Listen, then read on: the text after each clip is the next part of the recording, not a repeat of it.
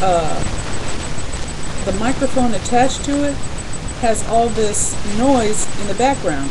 I don't know where the noise is coming from.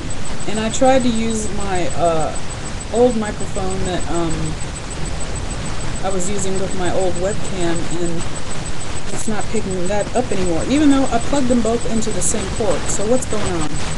Somebody who knows something about computers tell me. Thank you.